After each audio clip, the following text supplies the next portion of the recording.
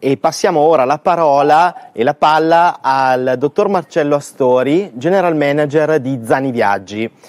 ehm, al quale chiediamo quali possono essere in questo momento specifico gli aiuti strategici alle aziende del turismo. Eh, buongiorno, sono Marcello Astori. La prima cosa mh, mm, vorrei presentare quello che è il ruolo di Zani Viaggi. Zani Viaggi è il primo tour operator operante a Milano la nostra specializzazione è essenzialmente quel tipo di turista che arriva in una grande città, nel nostro caso Milano, potrebbe essere Roma, Firenze, Napoli, le problematiche sono simili in tutte queste città che durante il 2020 nel nostro caso abbiamo visto i nostri passeggeri passare da un milione e mezzo a 150.000, quindi con una perdita incredibile dal punto di vista dei numeri, quindi anche di fatturato e che sicuramente le grandi città italiane, le città d'arte, sono state le più danneggiate dal punto di vista ambientale, perché se prima mh, erano le principali direttive del turismo straniero, con la scomparsa del turismo straniero essenzialmente, è scomparso anche la ragione d'essere di molte attività. Molti musei italiani sono, si sono ritrovati senza visitatori o i pochi che venivano, per esempio a Milano, con l'esempio del cenacolo, non potevano neanche accedervi perché le limitazioni erano addirittura ridicole, perché per esempio in determinati musei l'accesso di 5 persone per volta in sale di 300-400 metri quadrati sembrava eccessivo considerando già un turismo ridotto. Però senza far polemiche sulle scelte che sicuramente sono dettate da ragioni eh, ambientali e da ragioni sanitarie,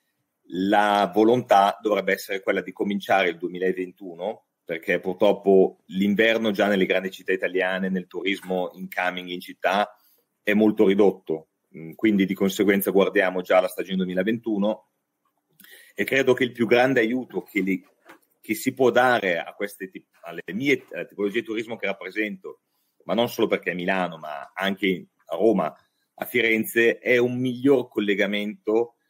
eh, da parte delle istituzioni, eh, soprattutto di chi gestisce i musei e gestisce le attività per cui le persone vengono nelle grandi città, in modo da fare una tavola rotonda per città, però i musei sono spesso gestiti da, o dai comuni o dal Ministero della, della, della Cultura, per creare una modalità per agevolare, soprattutto quando tornerà il turismo,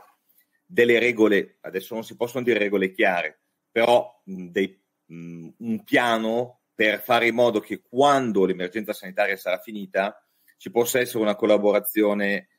precisa, puntuale rispetto ad aiutare sia le imprese che i musei italiani, perché le grandi città italiane vivono delle bellezze per cui le, le persone vengono a visitarle. Cioè, Milano, per esempio, vive perché tantissime persone vogliono vedere il Cenacolo, il Duomo. Roma, che ha il primo museo visitato in Italia, che è il Colosseo con 7 milioni di visitatori, se uno va a Roma come prima volta vuole accedere al Colosseo e spesso e volentieri la difficoltà di accesso a queste tipologie di monumenti o di musei rappresenta un vincolo molto forte per il turista che poi limita la visita alla città. E noi come imprese, sia io che i miei, i miei collaboratori a Roma o a Firenze, hanno spesso avuto problematiche nel dialogare con queste istituzioni per avere la possibilità che le persone che sono realmente interessate in un preciso momento che noi veicoliamo abbiano accesso a queste tipologie di,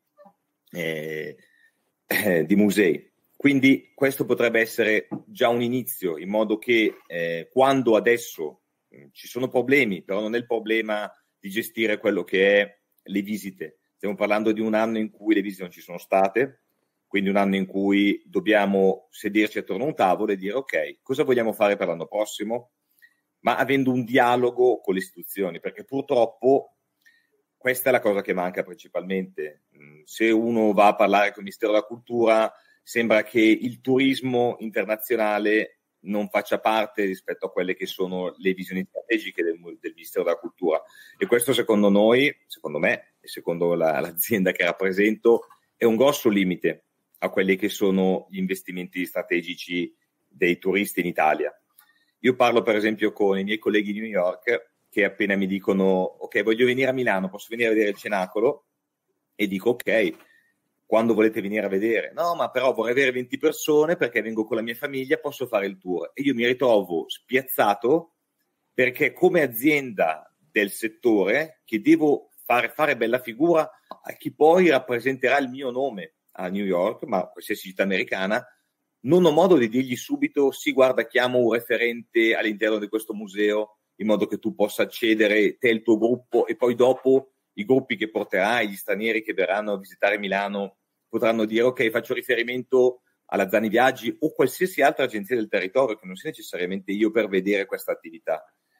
Purtroppo c'è un muro che pre-Covid era molto alto, che vorremmo abbassare post-Covid, perché se i musei italiani non dialogano con le imprese che portano le persone al museo, ci saranno lunghe code fuori, clienti molto scontenti e un'immagine generale dell'Italia molto danneggiata. Questo è il principale aiuto per una rinascita delle città turistiche in Italia che si può avere senza parlare di soldi che si spera arriveranno perché purtroppo le aziende turistiche hanno avuto zero fatturato quest'anno, non dico zero ma prossimo, quindi hanno avuto un grosso problema di cassa che le banche stanno supportando perché ovviamente si presuppone un, un'evoluzione dell'anno in modo che comunque sì, c'è stato un anno di fermo, poi l'anno prossimo dovremo ricominciare, non dico con gli stessi volumi, ma simili. Però, a parte l'aiuto economico, c'è bisogno di un aiuto di sistema, un aiuto che faccia capire che chi gestisce le attrazioni, private pubbliche, ma il problema sono soprattutto le attrazioni pubbliche, dialoghi col privato in maniera lineare e ci dica, dica al privato esattamente quali sono gli obiettivi strategici e non che, per esempio, come succede al Colosseo, per fare un altro esempio, ci sia la ressa fuori e vengono cambiate le regole per comprare biglietti ogni tre mesi, senza interpellare le decine di aziende che creano tour al Colosseo, che hanno tour in cui il Colosseo fa parte. Io faccio l'esempio di Roma perché lo conosco direttamente mandando anche i clienti a Roma, avendo pacchetti che coinvolgono Roma. Ma anche a Milano, per esempio, il comune di Milano ha delle difficoltà a far accedere ai musei civici con cui è molto difficile dialogare. Il Ministero della Cultura con l'accesso al cenacolo ha dei problemi legati al numero chiuso, ma anche legato a una mancanza di dialogo con quelli che alla fine sono gli operatori che portano il maggior numero delle persone. Quindi questo potrebbe essere l'inizio in un momento in cui tutto è fermo per far cominciare qualcosa e fare dire alle aziende che investono, ok, voglio investire su quello che funziona, voglio riportare le persone in Italia e per riportare le persone in Italia dobbiamo puntare su quello che è la ragione per cui l'Italia è conosciuta, quindi le sue bellezze e queste bellezze devono essere il più possibile accessibili, perché se usciamo da un anno in cui non possiamo vedere le persone e non possiamo girare, la prima cosa che voglieremo fare quando tutto questo sarà possibile sarà vedere il più possibile. E mi sembra ridicolo che eh, non possa dire da qui a sei mesi, ok, cosa vogliamo fare per il futuro. Questa è la mia opinione su come aiutare le imprese in maniera strategica, a costo zero e in maniera facilmente realizzabile per quello che è il futuro del turismo italiano, almeno nel 2021. Benissimo, eh, dottor Astori è stato davvero molto esaustivo nel eh, illustrare quali possono essere appunto gli aiuti strategici al settore turistico, eh, parlandoci eh, appunto di questo eh, settore e della Zani Viaggi.